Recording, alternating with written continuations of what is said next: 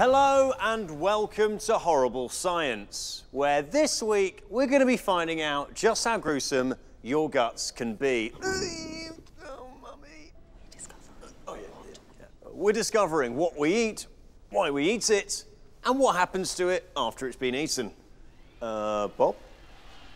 Here's what the average person might eat in a day cereal and fruit for breakfast, sandwiches and juice for lunch, meat and vegetables for dinner. Apple pie there. Oh, hmm. no, oh, no, no. Vegetables, they're hmm. disgusting. Hmm. Now, how much do you think you might eat in a year? Around 800 kilograms of food. That's the weight of a small car. Personally, I don't know why you wouldn't just eat the car. Wow. And here is your supermarket bill. Wow. okay, yeah, uh, we'll get Lucy to sort that one out. So, I really eat all this in one year. Oh, yes. And as a result, you'll go to the toilet over 2,000 times, producing enough wee to fill six bathtubs. Oh. And 100 kilos of poo, or the weight of an average gorilla. Whoa, whoa, whoa, Bob, stop. Please tell me you haven't got a gorilla made out of poo under there. You said to make it more visual. Oh, Bob, get it out of here. That's disgusting. And amazing, but, but mainly disgusting. Very well. Moving swiftly on. This seems like the perfect time for our first big experiment, the hot dog test. It's so horrible. We're going to see how many hot dogs we can get into the human stomach in 30 seconds. Ready, Bob? Ready? Is that it? It's tiny. I mean, you can't even fit like a double pepperoni pizza in that, even if you fold it. Well, that's true. Luckily, the human stomach can expand. OK, fair enough. And while we're doing that, Professor McTaggart can give us his brain dump on what happens to food after you've eaten it. Ready, Professor? Oh, yes, yes, I am always ready. You done something different to your hair? I have literally no idea what you mean. Oh, fair enough. Ready, Bob? Let's go. It's so horrible. I'm Professor McTaggart, and this is my brain dump on how food becomes energy.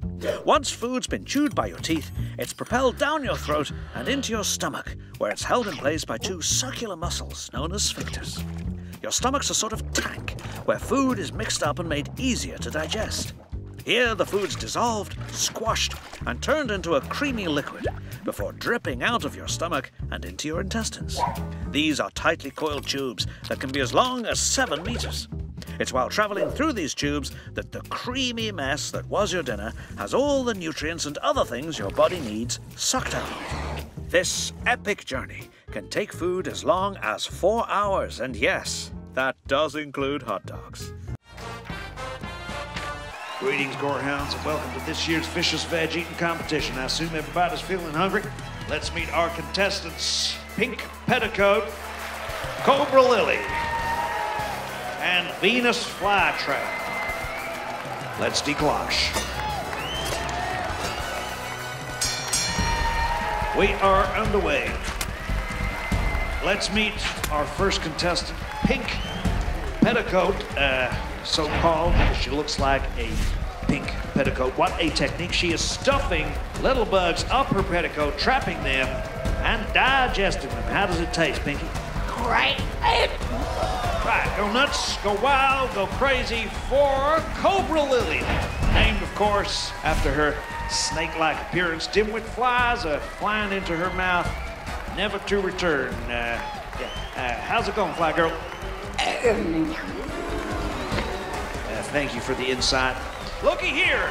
Old Big Mouth strikes again. Uh, this fella just can't keep his trap closed. My favorite and your favorite, Mr. Venus Flytrap. Uh, he ain't up to much yet. Uh, them bugs just resting there on his mouth parts.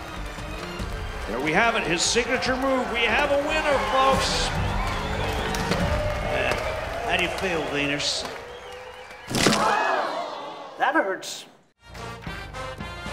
I will save you. I will save you.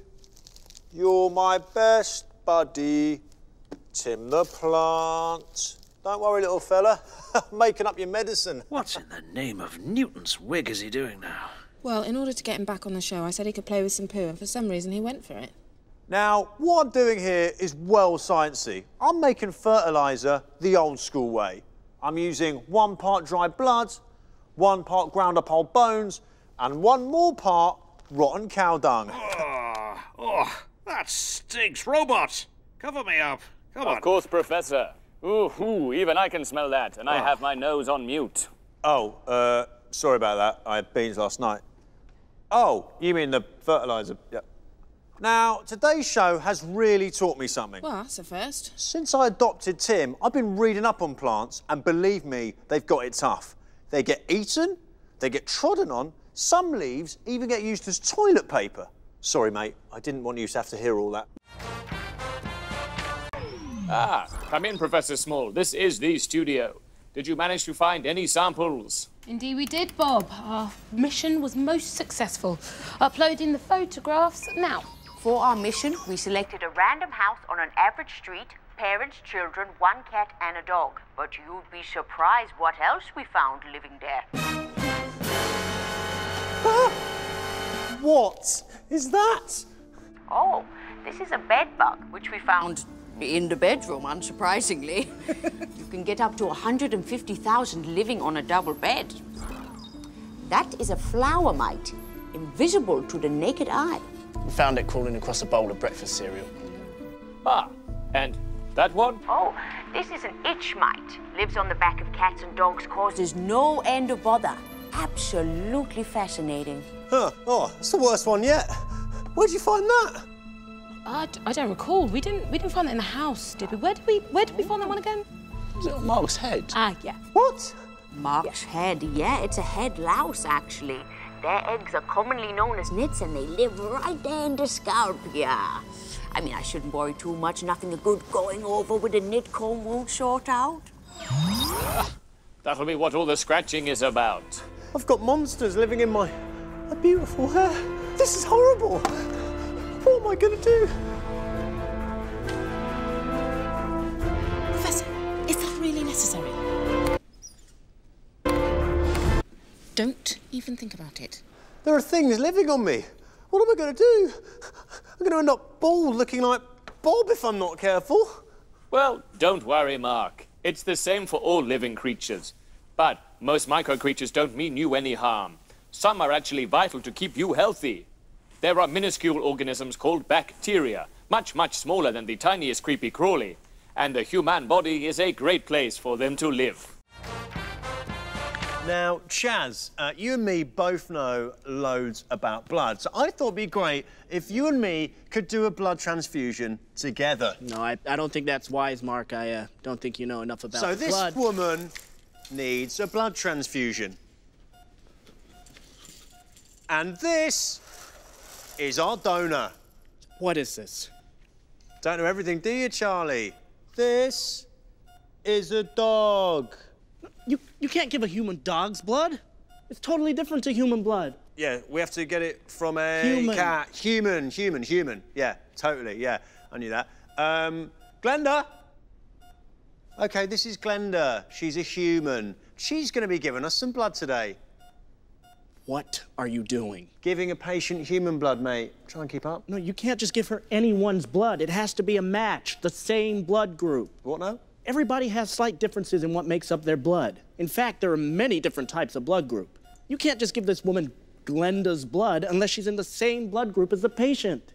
Thanks, Glenda. Wow, there's a lot to remember, isn't there?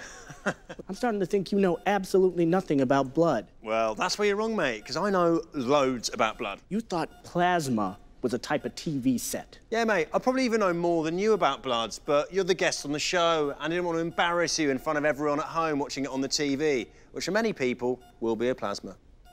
Unbelievable. Unbelievable. Charles Drew, everyone. And now, Bob. So here's an interesting thing. Some animals actually feed on the blood of other animals. And we've got one here. It's a leech. Bob! Bob! Oh.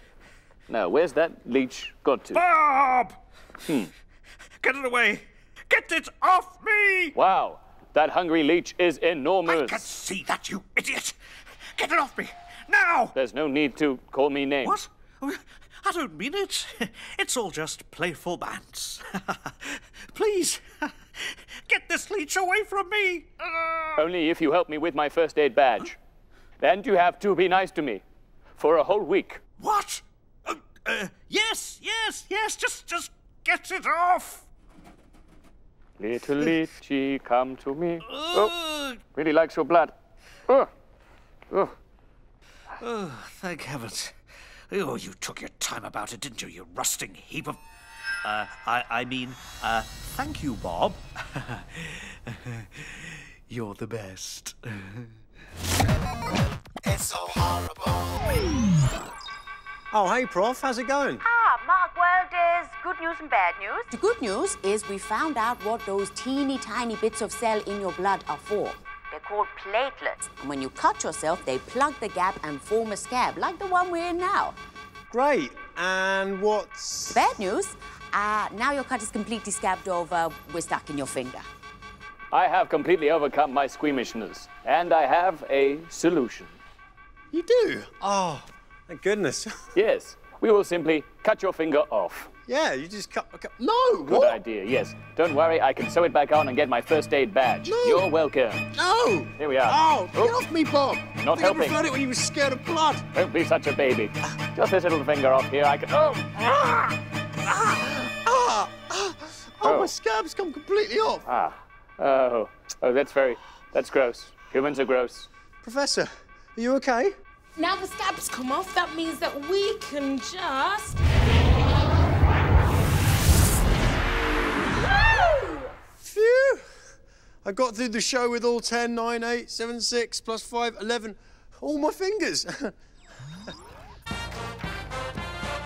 Prepare yourself for an insane look at what they don't tell you in the science books. From inner space to the universe, we're on a case to face the worst. It's icky and it's whiffy and it's yucky and it's squishy, but we love it.